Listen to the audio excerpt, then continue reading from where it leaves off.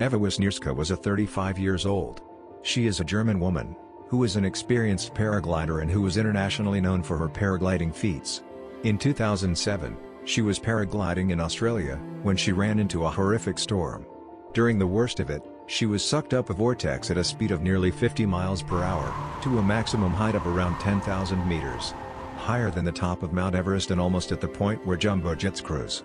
As the storm raged around her, the lack of oxygen at that altitude caused her to pass out for around an hour. Somehow, she drifted unscathed through temperatures of minus 40 degrees Celsius as hail and lightning engulfed her body. According to doctors, the fact she passed out, may have helped her survive by slowing down her heart rate and bodily functions.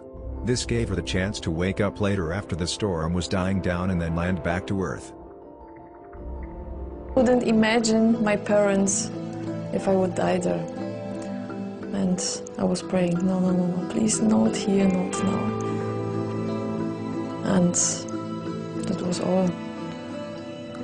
Only to survive and to concentrate on what I can do.